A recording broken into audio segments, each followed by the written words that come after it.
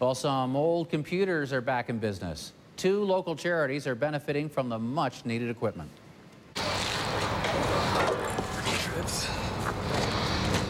The Electronic Recycling Association is donating computers to the Edmonton Brain Injury Relearning Society and Hope Mission. The electronic equipment would have probably ended up in a landfill. Instead, it's being put to good use. Anyone that's got a need that for whatever reason can't uh, doesn't have the means to provide themselves with some of this equipment for whatever reason, you know, we help out all sorts of charities throughout Alberta, uh, sometimes across the country.